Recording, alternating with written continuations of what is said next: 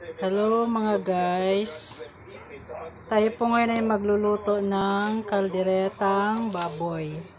So, ito po yung ating mga ingredient. Baboy.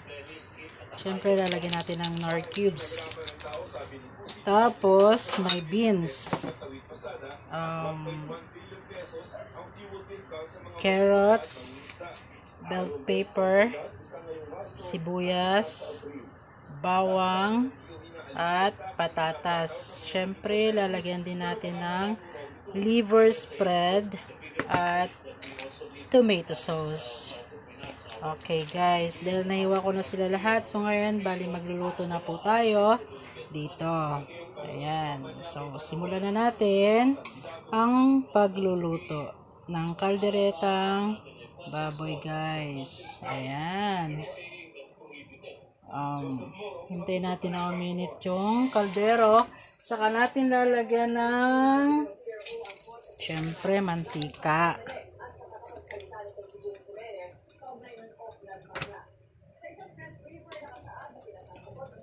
And guys, hindi pa ganun. Guys, tingnan natin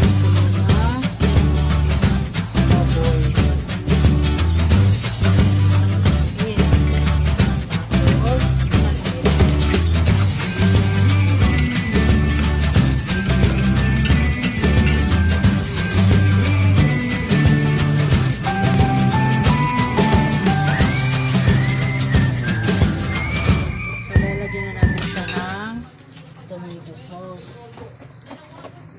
Yung gona natin guys. Yan. Tomato sauce, ilagay ko na.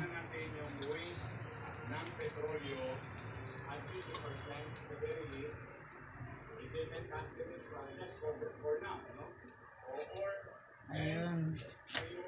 Tomato sauce.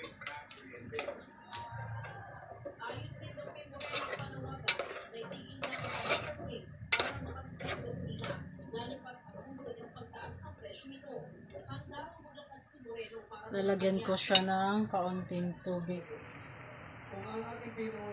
Ayun. Buksan natin ulit. Ayan, kumukulo na siya. Tapos, ilalagay na natin ang liver spread. Liver spread. Ilalagay ko na. Ayan.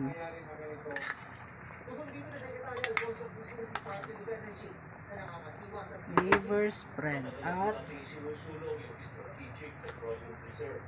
halo-haluin natin. Ayan.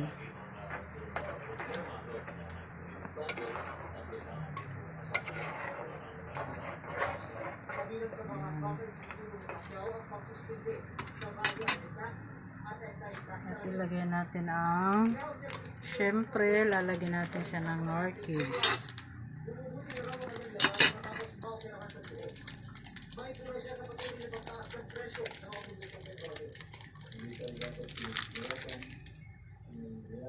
Nor cubes.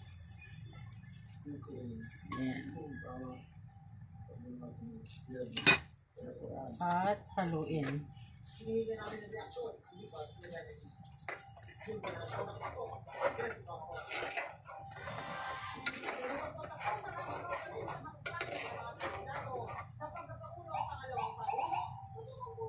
Isunod nating ilagay ang beans.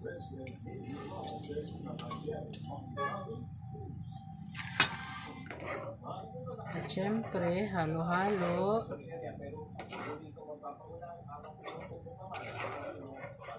Ayan.